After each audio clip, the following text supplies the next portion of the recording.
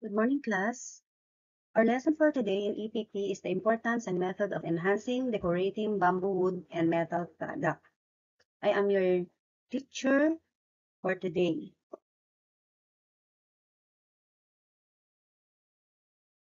Importance of enhancing, decorating bamboo wood and metal product.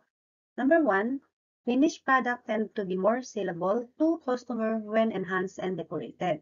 Tama po yun. Mas mabenta ang mga bagay kapag ito ay napaganda at maraming disenyo. Enhanced and decorated finished product help maintain their durability to harsh elements. Tama po. Kapag na-enhance, napinturahan, or nabarnisan ng isang bagay o isang product, mas na-maintain niya yung durability niya.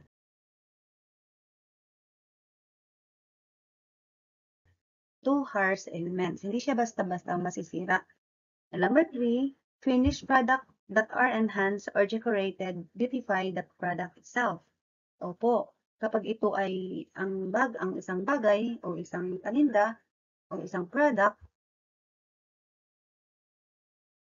ay na pinturahan, na barnisan at nalagyan ng decoration, mas maganda, mas mabili. Method of enhancing decorating bamboo wood and metal products.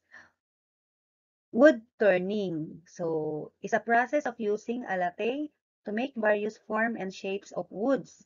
So, ito yung ginagawa ng mga um, may furniture. Meron silang pangtorno na tinatawag. Gumagawa sila ng design na magaganda. Ayan ang halimbawa. Hand carving is considered a woodcraft on which a sharp object is used to create designs on the wood. Various textures and surfaces can be created using this technique. Tools such as chip carving knife, gouge, and chisels are used. Ayan. Yan, yan yung mga nagde-design sa mga santo o kaya sa mga pintuan natin. Yan ang ginagawing hand carving.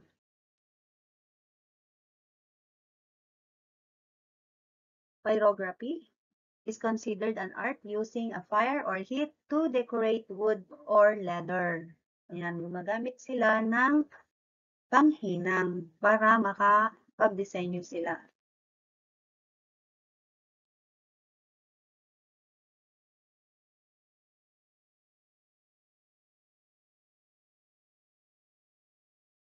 Inlaying combines several techniques that involve inserting decorative pieces to a base object to, to incorporate new designs on the original product. Kaya nakikita nyo ang ginagawa niya, meron siyang um, technique. Ayan. Sa isang, meron na siyang disenyo pero nilagyan pa niya o dinagdagan pa niya ng isa pang disenyo. Gliding is considered as decorative technique in which powder is applied on wood or other materials to give a thin coating of gold. Method of this technique include gluing, chemical lighting, and electro plating. Ayan. Makikita nyo yan karamihan sa mga gumagawa ng mga sanpo. Staining is used to color wood to give an illusion of texture. This may come in two varieties. First, pigment-based stain with color large pores of the wood, while dye-based stain for uh, color small pores or the wood. Ayan, nandiyan naman po yung halimbawa. Painting is considered the simplest way of decorating wood since there is a variety of colors that you can choose from. One may also add a lacquer finish to make it more shiny and glossy.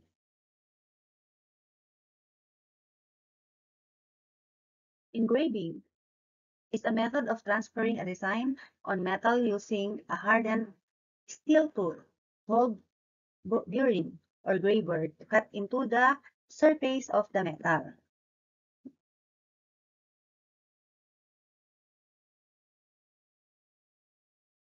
Etching is a process used to make design or pictures on a metal plate by using acid that produces corrosive action.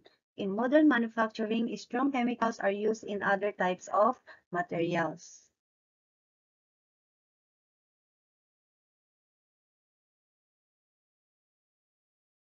Adding metal enhancing media such as metal paints, Copic marker, and anti-cling kits gives color to the metal product.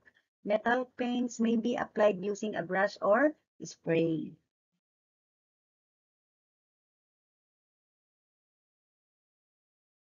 Texturing and embossing. embossing. In this technique, you will need hammer, metal stamps, pencil, and other materials to create imprint on metal. Though there are new technologies used to emboss a metal with different texture. A hammer and nail can still be used to create your own design.